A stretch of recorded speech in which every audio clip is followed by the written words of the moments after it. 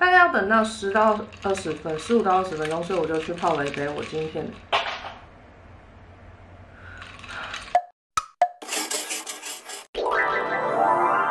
嗨，我是 OPRA，是不是很久很久没有拍 Get Ready with Me？因为就是每次。化妆就想说，哎，直播跟大家聊一下天好，然后就会没有办法拍 Get Ready with Me。然后今天一大早起来就想说我要拍影片，所以我就赶快保养，然后化妆化成今天这个妆，我自己非常的喜欢，这是我最近最常用的彩妆品跟底妆品这样。然后今天呢，刚好跟大家分享最近彩尾终于要卸任的一些小故事，还有一些就是比较生动的一些描述呢，在 Instagram 的直播我会把那个链接放在下面啊。如果想看我化妆，然后聊一些彩尾故事的话，就跟我继续看下去吧。Go go go go！首先呢，工商一下最近正在开团的 ID 石膏面膜，因为我是礼拜天用的，然后今天是礼拜三、礼拜四，我就决定再用一次。我现在一周都会用两次。ID 呢，它就是韩国整形诊所的院长开发的产品，这样。这个石膏面膜比较特别，是它会在你的脸上干掉，然后它是清洁调理型的那种，无论你是干肌、中性肌、油肌都可以用。那我自己呢是混合偏油，我会在敷上石膏面膜之前，因为它在你脸上干掉嘛，我会先打个底。你用你任何手边的精华化妆水，先抹在脸上，或是拍打在脸上都可以，不需要为了这个再特别去买一个新的保养品。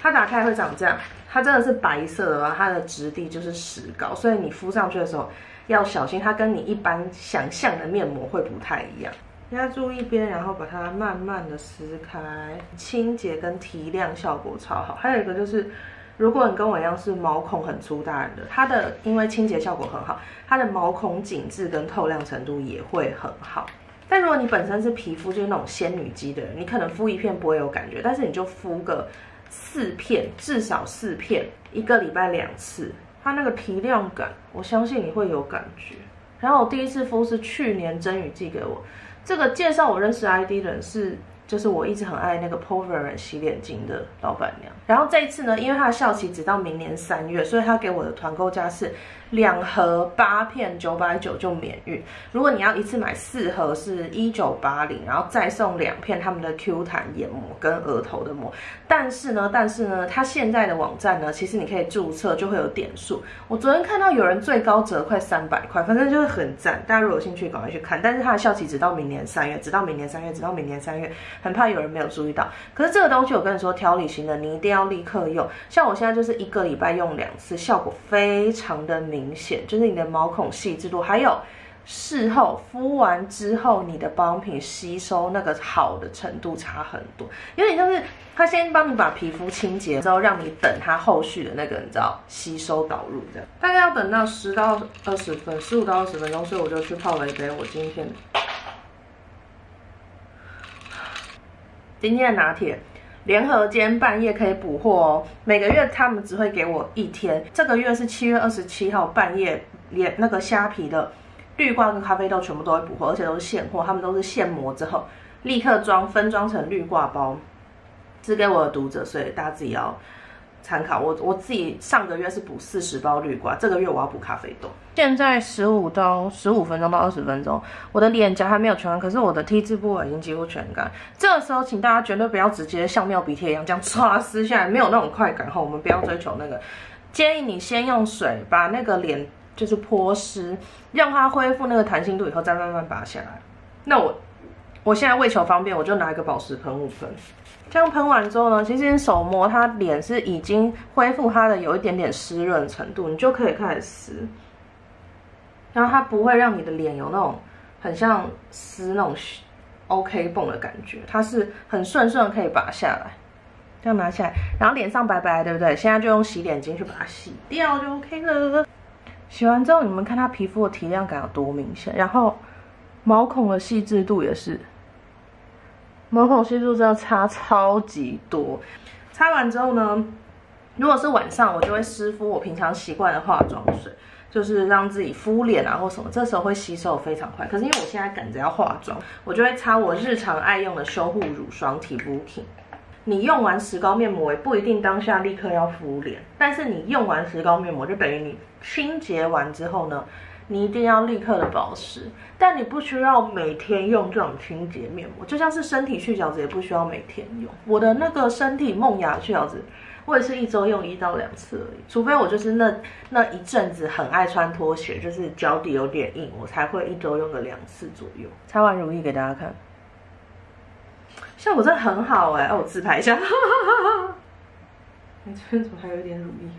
用完体肤品以后就可以化妆了。其实体肤品也是我平常必备的妆前乳，这已经是我第四罐。我人生除了新叶球以外，没有用过这么多罐乳霜过。而且新叶球是因为它有酸类哦，它对我的闷痘跟那个粉刺非常有感。这罐没有，它纯粹就是修护感。可是它在妆前会让你的妆很贴很贴。我今天呢就是要用我最近最常抓的彩妆品来化妆。涂防晒，防晒我最近在用加丹尼尔，加丹尼尔有出一个新款是海洋友善的，我觉得比较适合用身体，因为它擦在脸上会有一定的油感，可是也很好推开。只是脸上的话，我会习惯用更水润的，所以我更喜欢北纬跟加丹尼尔这一款这样。然后我会涂上两个手指，这个是我看丫丫分享，因为我也是长大之后才觉得，哦，原来我以前的防晒甚至是化妆水啊保养品的量其实都不太够。那如果你已经出门了，怎么补防晒？你要不就是要把妆卸掉，要不就是用防晒系数的粉饼去补，这样。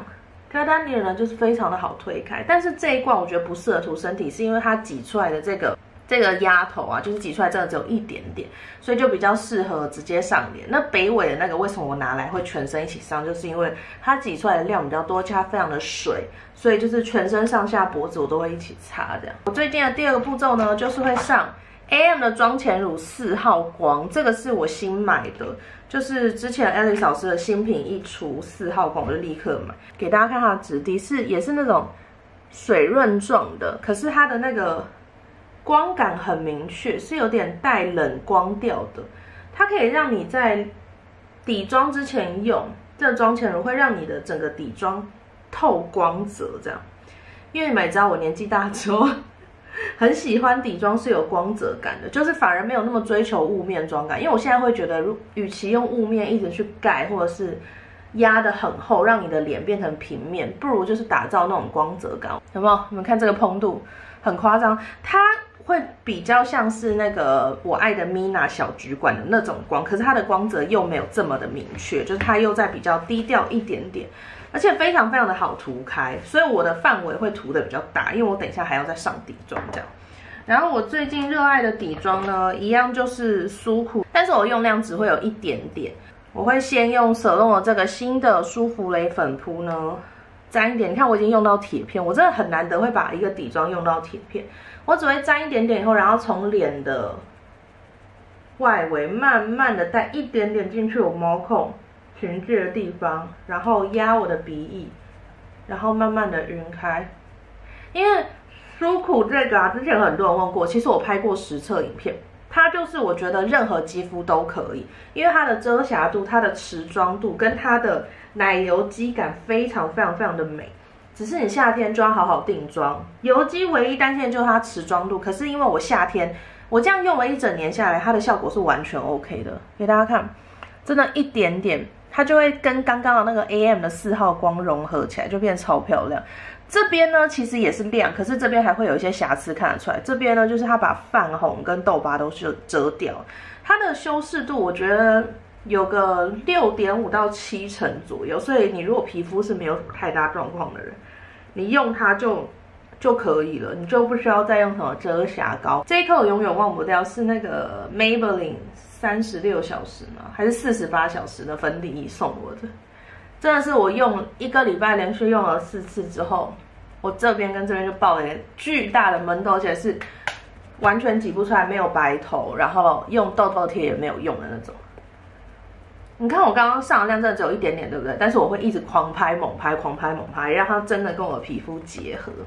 打到这个亮泽度以后呢，我才开始上遮瑕。遮瑕呢，我就是热爱，就是 A M Fairyland 的遮瑕，已经用到这样了。之前我是用 A M Fairyland 的旧包装，那这一次呢是他们的新包装，我也是用了应该有半年以上。那这个呢是 Alice 老师他后来有升级一些料体跟成分，所以它的湿润度我觉得更好了，干肌更不用怕，就是眼下会卡粉什么的。我自己用是完全没有什么卡粉的问题，然后我觉得它的持妆度很好。不会移位去游移那种，然后会用一个浅色打亮我的泪沟，这边提亮一点点。橘色我就比较没有在用，因为我比较没有黑眼圈。然后我一样会用舍用这个粉扑呢，就是把遮瑕铺铺开。这个月呢，我生活发生了什么大事呢？首先就是睫毛膏的呃第二波完售，然后第三波已经确定充填时间，我也订了韩国机票，昨天订了住宿，非常非常的紧张，就因为真的要就是见到我的睫毛膏新品跟第三波的本人，就是在工厂见到他们本人，就觉得很兴奋这样。再来一件人生大事呢，就是我终于要退下财委这个职务了。Oh my god！财委这个职务真的是死缺到一个不行。它不是因为职位本身非常非常的忙，当然也是老实说啊，其实大家都是没有执行。哎，我们后来在去呃上个月开会的时候决定给我们执行，因为其实我们我是第四届委员，在前三届委员他们都有执行，那到第四届呢，他们就是决定不要执行，因为可能觉得就是哦。业务没有那么繁忙什么之类，但是我们上个月开会有恢复，所以我这个月有收到一笔就是一年的委员费，其实也没有很多，就一个月四千块。可是我就觉得那种是一种你本来就应该给人家的，因为老实说，就是有一些人以前我不是委员的时候，我都觉得他们超辛苦，因为老实说，这些人他根本没有义没有义务要帮你们处理这些事情，他没有义务在你。随便传一个讯息到群主，说什么哦，垃圾间很脏，电梯感应不到，或者说我的磁卡不知道怎么用，哦，我的电梯不知道怎么样，然后我的车号 e tag 不知道为什么不能进来。他没有义务在你随便随口发出的这个疑问或者是抱怨的时候，立刻帮你处理。可其实很多人就会说什么要等多久？请问现在有人回复吗？Hello Hello Hello，我有看到这个鬼巴都会耶。那时候委员不是我，反正后来我为什么一开始会答应，其实就是因为这一届。呃，主委他跟我算是比较比较早进来这个社区的群组，他那时候也就是我们偶尔会在电梯遇到，然后我在电梯遇到是那种一定会跟人家打招呼的那种，他大部分就是顶多点个头，因为他感觉是一个很害羞的女生，然后他突然有一天就看到我，他就塞一个那个明治的七十五趴巧克力，他就说巧克力给你，然后我就说嗯给我吗？他就说嗯给你吃，我说哦谢谢，因为我我本身也是蛮喜欢吃巧克力。黑巧克力我是 OK 这样，然后我就说哦哦谢谢，然后他他就这样子很匆忙走，我就想说哦他就是一个比较害羞的人，而就开始讲财委故事。然后那几天晚上在那个社区群组，就是开始发现说哦我们之前就是已经确认找到的新任委员们呢，有一位是不做的，一个比较年长的阿姨，因为那个年长阿姨为什么她会被选上了？其实就是因为。她在群组里面蛮常发表一些令人匪夷所思的言论，我觉得大家都有看出来，就是她是一个很不给人家面子的人。再加上她之前还有跟一个住户吵架过，就是她希望他楼上的住户呃不要十点后回家洗澡，就是就算你十点下班也不要洗澡，因为这样子会让他。早上五点起不来，因为他就是一个退休人员，他就说：“我只求一个晚上十点睡觉，早上五点可以清干安安静的起来，不需要听到别人的洗澡或是冲马桶的声音。”所以他就在那个群组要求这个男的，就是全家晚上十点都不能冲厕所，也不能洗澡，超级莫名其妙的。那个时候就是闹得沸沸扬扬，后来那个男的也被闹了很多次，他就说：“不然你就报警吧，因为。”老实说，到底谁能管我家里什么时候要冲厕所啊？呃，这件事情在群主报开以后，就是我跟我老公都有帮那个男主人讲话，就觉得这是一件完全不。不合理的事情，可是你会在这个时候发现，其实大部分人的人是想要装没事。大部分的人会觉得说，他今天没有影响到我，他今天不是来纠正我说，哦，我不能冲马桶，我就装没事。现任主委就是有去帮那个阿姨，然后后来那男的就说，好，那我道歉。这个主委有一天他就问我说，我能不能当委员？然后那时候其实真的非常想拒绝，因为那时候真的很忙。然后我就想说，好吧，好吧，因为那时候我老公也说，啊，如果我们身为住户，就是一定要当一次的话，那不然我们就当好了。然后想说好，结果我就掉进深渊，哇，掉进去这样。哎，我刚刚擦的是那个苏酷的这个试底乳，非常非常的好用。我之前不是一直在试舍弄的试底乳嘛？可是我发现舍弄试底乳在过热的状况，其实像现在这种状况，其实就会极限，或者是我可能用不够多。但是我觉得以它的那个试底乳的那个控油程度的话，没有 Urban Decay 跟 NARS 好。那这次我就是去苏果活动，他们送我这个啊，非常的好用，有这个预算。那如果没有的话，你就去买找买 Urban Decay 紫色那个，或是 NARS 的 Smudge Proof。我记得 Smudge Proof 好像是八百八还是九百八，可是可以用很久。然后呢，我的眼影要用 Tom Ford 这一盘是四十号 Golden Hour 这一盘呢，是我在大阪唯一买的一盘眼影盘，就是。我现在已经不是那种看到彩妆的颜色会疯掉那种人，就是我现在是蛮冷静的一个长辈，就是我看到会想说这什么时候可以画，我有没有类似的颜色啊？如果有类似颜色或粉质，我就会觉得嗯不需要为了别的牌子再去买这样。然后那个时候我就觉得 Tom Ford 就是好像很多人一直在说 Tom Ford 非常非常的厉害，可是台湾蛮贵的，再加上。颜色好像很常缺货，然后那时候在大阪机场的时候看到这个颜色，我就觉得，哎，这个颜色我应该是可以驾驭。这一盘我现在用下来用了这么久啊，我觉得它的优点就是非常非常非常的好晕开，可是它的缺点就是呢，其实它这两个颜色长得几乎一模一样，就一个浅比一个深，所以我几乎都是用这个打底，这个加深，然后。这个打亮眼窝中间，然后这个再打亮正中间，这样就是我的 routine 大概就是这样。然后我的刷子也会全部用它他们附的这个刷子，因为我觉得这样最方便。然后我画一样是像 AM 一样，我都只画旁边，就是我不想弄到那个 TF 的压痕。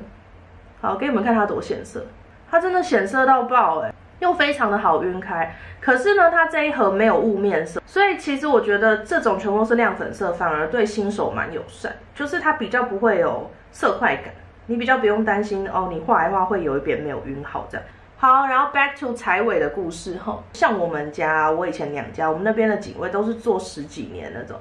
就是爷爷都知道看我从未婚看到结婚的那种，到现在我们其实做还没有满一年哦，就是十一个月吧。我们已经换了六个保全了，然后清洁大姐换了三个三，但是这个不是他的问题，就是因为真的是找不到适任的这样。像我们上一届就是本来以为做好好的一个，呃，有总干事资格的一个保全大姐呢，也是做不到一个月就离职，然后她就直接跟我说，难怪你们社区没有人要当啦，我真的没有看过这么疯的人。那我就想说，天哪，我真的很不想要哦，然后我要用这个亮粉。真的非常不想要我们社区变成就是业界不敢接的社区，因为老实说，业界这么小，我们其实中途来的很多新的保全人员，他都是有在别的社区待过，就是什么呃电梯或机电保养的人来，都会直接跟他们打招呼，连我们的电梯大哥都会说，嗯，怎么你们警卫又换人了？嗯，谁谁谁走了吗？我们最高纪录上一个是。四个月连换四个吧，好像有一天我在台北，他硬要 call 我，叫我一定要回来，因为他要报警。后来又拿来了一个大哥呢，就是这个是他自己走的，因为他觉得别人给的薪水比较高。再来呢，就是最新这个大姐，那个大姐就是觉得，可能她她她自己的资历也很深，她就觉得我干嘛来这边当小小妹被你骂？她会在你不在的时候才去。发这个标，或者是私下，是我们完全不知道，所以我都一直觉得说，哦，他们这一次做的状况都应该蛮好，就到前一天才发现说他要离职了。我我最近买了这两个，在日本买的这两个 DUP 的眼线衣是不同颜色，就是土黄色跟绿色，我很喜欢。但是我现在还是很常用 Can Make 这个橘色，Can Make 这橘色呢，我觉得我的日常妆都很适合。而且它这个橘很持久哦，它这个橘可以撑很久。然后最近呢，就是要交接，我那天很兴冲冲的回家，就是在赶我要开团的事情，我在弄影片，我在弄照片。晚上八点，然后准备看 F one，然后我就收到那个下一任委员的讯息。啊，一开始其实我没有想要特别早一点回，因为他只是回，只是问说在吗？他还没有讲事情的缘由。我通常会等到。很不熟的人讲事情缘由，我才会去开那个讯息这样，然后结果他下一秒就是另外一个委员就打来，就是你这根本也没有办法不接。然后我接了以后，他们就说，呃，请问你们有要下来吗？我就说，哈，什么意思？他说，嗯，不是说好今天交接吗？后来我们我弄了大概三十分钟，把工作赶快赶完以后下去，然后监委也下去以后，主委就是在电话里直接说了，就是新任主委不在公开场合跟他道歉，然后不在。有所有住户的群主跟他道歉，他就不交接。新任的主委那个男的，就是以前跟人家说家里十点以后不能冲马桶的那个男的，那个男的现在变主委了。然后我们就所有人都在楼下等啊，我就我们就有说，那不然就是财务先交，他就说好，然后他就打给我说林小姐，然后我就接电话，他就说我现在有三点诉求，我我这个人现在是在烫衣服，我要烫我明天整个礼拜要穿的衣服，我就说哦，所以我没有办法下去，我就说哦 OK，如果他没有道歉，我是不可能下去，我也不可能交接，你们要交接财务你就先交接，我请他不要担任耽误我们社区事务的进行，我想说。我现在在烫睫毛吼，就是讲故事的中途还是要讲一下我在做什么。过了二十分钟之后，哎，嘣嘣嘣嘣嘣嘣，气冲冲的下来，一进来就说：“你刚刚是什么意思啊？你现在是什么意思啊？”然后就一开始就是只是这样子，后来就是咆哮到我们旁边的人完全听不到任何声音。他会突然的冲起来，会想要防御自己。那当你也跟他对冲的时候，他就会冲更高。其中一次在社区警卫警察来的时候。警察是根本没有办法跟他沟通。后来是我下去以后，我就说你冷静一点，我来帮你好吗？然后他就说好，林小姐麻烦你，我去休息一下。然后他就真的去我们警卫室旁边的沙发桌这样趴着休息。然 后因为我刚刚喷了喷雾嘛，就是那个脸，所以我现在干了以后，我要来上那个定妆的粉饼。我最近的粉饼是在用我在去年在冲绳买的这个 Makiage，还是今年今年三月吧，还有月在冲绳买的。这个心机粉饼呢？那个时候我是随便抓，因为我那时候带错粉饼，就忘记冲绳其实是很潮湿的海岛，我带成就是不控油的粉饼这样。我后来就随便抓了一个这个，然后我买的色号是零零零零，它其实不会太白哦，因为它零零好像是更适合黄色肤色的人。Makiage 的粉质蛮细致的，所以它的填补毛孔跟控油部分，我是还蛮满意的。重点是持妆啊，给你们看它。我像我现在轻轻扫一点点，在我的毛孔全日处，给你们看这边的雾化效果跟这边就差蛮多，这边的油光完全不见。但是大家也不要担心，说那你刚刚上的光啊，四号光会不会就没有了？不用担心，因为混合偏油的人什么什么不多，最多的就是油。大概上妆过十分钟或十五分钟，你慢慢出油的那个微混微奶油肌啊。就会把你刚刚的光泽还给你，所以大家不用担心。我自己大概就是，无论是多控油的，像什么无极限的那种蜜粉啊，或是无极限的那个定妆喷雾喷到爆，我都还是会三个小时去吸一次油啊。如果有带粉饼的话，我就会稍微在我的那个毛孔群聚处啊，或者是在我的那个鼻翼这边再压一下下，就是会压到你的脸不是潮湿的状态，你的那个持妆度才会高。像我现在就会用手臂确认一下，说，哎，你这边还是不是湿的？因为我刚刚那个底妆啊、防晒都上比较多，稍微带下来定下来之后呢，我就会喷定妆喷雾。我现在喷的定妆，之前都是喷无极限，可无极限就被我放在外面包包里。然后我这两天有在用一零二八这个。啊，燕燕你要进来啊！啊，自己推门这样子棒棒啊！一零二八这个呢，我觉得它唯一的缺点就是它撒出来的花洒有点太大范围了，嗯，就是它的那个喷头的出来的量会有点，但哦现在正常了，呃又不正常，就是它的量会有点巨大到你觉得你好像真的是在拿那个撒花器撒在脸上的感觉，没有这么细致，可是我觉得它控油度是有的，但是我心里最厉害的控油。喷雾定妆喷雾呢，还是无无极限？就植村秀无极限真的是没有办法打败它。我已经用了四瓶了，我到现在还在回购。好，OK，我今天要用的睫毛膏呢，跟平常比较不一样。我平常都用 O Beauty，对不对？我今天要用 Mute。没有的呢，这个是我呃去年还前年去年买的，然后我一次是买了纤长款跟浓密款，我这次呢是用 Volume Curling，所以是浓密款。这一款我觉得如果你是那种睫毛比较稀疏的人，你应该很喜欢，因为它很快就可以帮你的睫毛创造出那种呃存在感。可是呢，它会比较容易让你的睫毛结在一起，就是它很适合创造那种束感的睫毛。它很黑，它会让你觉得哦。我的睫毛怎么跑出来了？但因为蛮多人是不爱这种很黑的睫毛膏，因为第一个会比较难卸，存在感比较高，也不是每个人都喜欢的妆感了。因为它就是很快，有没有？你看它很快的就让我的睫毛变一束一束了。我睫毛已经不是扇形开花那种，它是很快就变成烟花式的那种睫毛。所以如果你是像我一样睫毛多的人，你就记得要备一个夹子去赶快把它捏在一起。你看它可以立刻变成树状睫毛，我觉得很厉害。如果你是喜欢烟花式睫毛，你可以这样试试看。因为如果你用 O Beauty 要创造这种睫毛也是可以，可是你花的时间就会比较多。因为 O Beauty 本身的料体没有这么黑，因为它本身的那个料体又再更轻一点。而且这个刷头啊，因为它的膏体很浓，你有没有看我一直上到我的眼皮上？就是我的上下眼皮都会一直沾到，因为它比较浓。眼睛画好了，睫毛画好了，就非常像假睫毛那种炸开感。可是其实你们看，像下睫毛就会比较难，像 O Beauty 那样变成很多根，但是细细，因为它的料体直接让我很多细毛都纠结在一起，已经打不开了。所以其其实就就只能这样了，但我觉得应该还还算 OK。好，然后接下来呢，我就来画眉毛了。眉毛呢，我都是用 Benefit 这支眉笔，就我现在已经用这支打天下很久。还有那个开呃开 Beauty 的眉粉，我是用摩卡，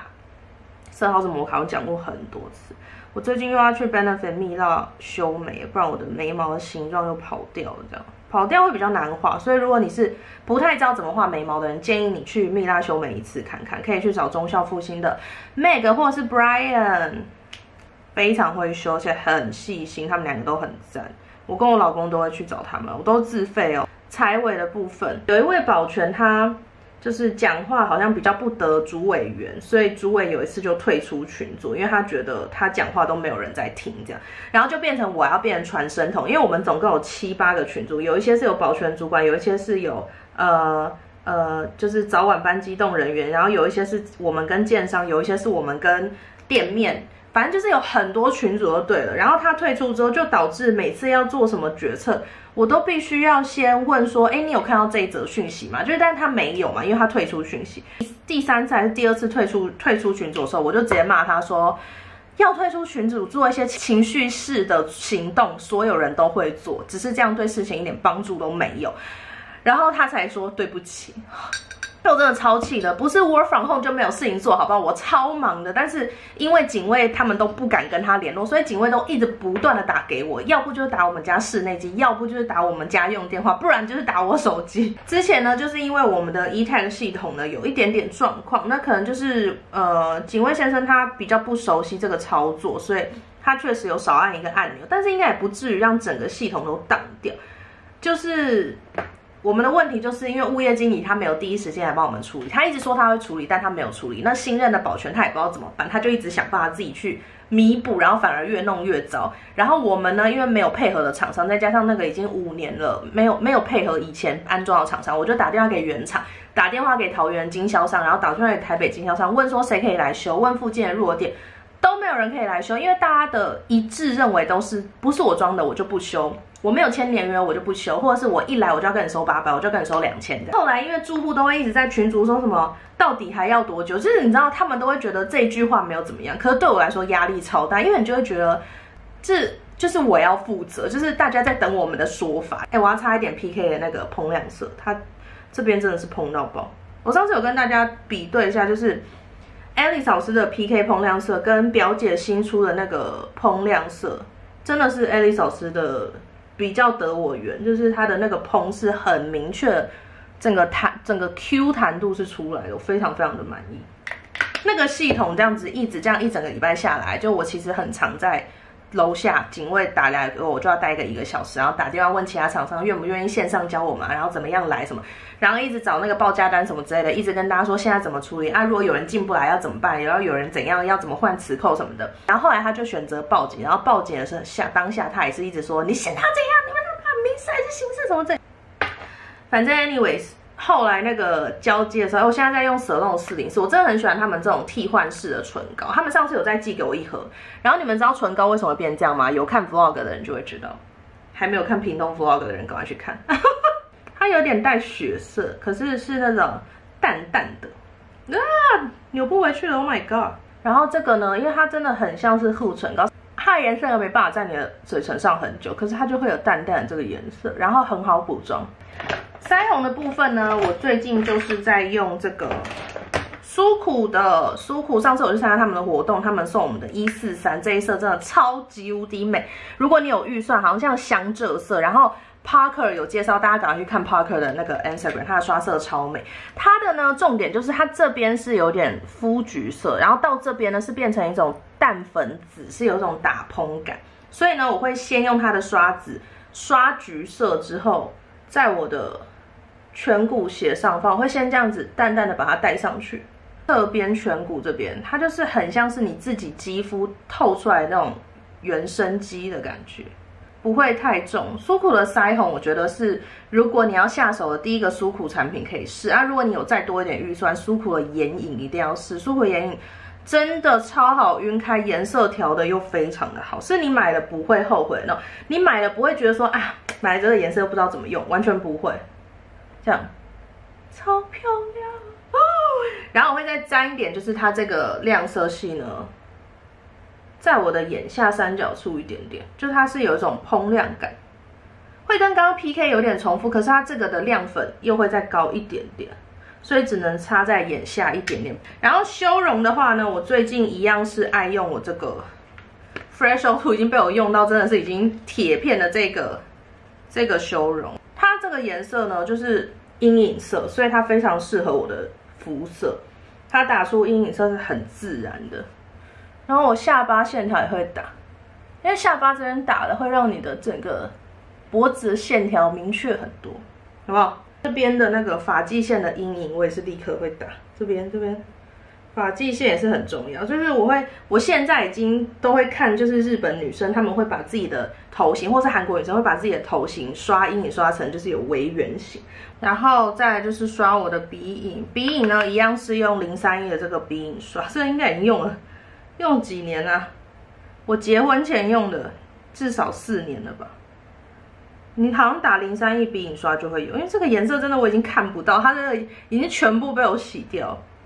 然后，如果你要买鼻影刷，我也很推荐 Laura 的 Laura 的眉眉眼刷非常好用。鼻影那个真的形状是我没有看过别人有的，而且又便宜又洗了也不会掉毛，非常的好用。好，这样刷完之后呢，我会喷上最后一次定妆喷雾，所以我会妆前喷，上完底妆喷，蜜粉后再喷，然后最后完妆再喷这样。喷完之后拿下头发，我就完妆啦！才尾准备下线啦！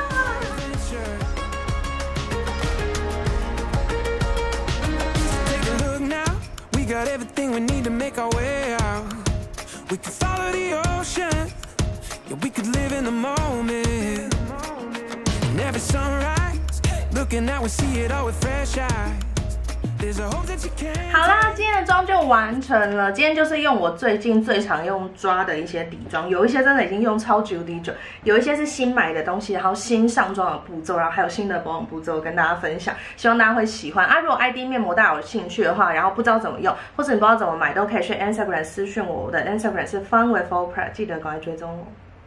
好吗？好啊，那我们就下次见喽，拜。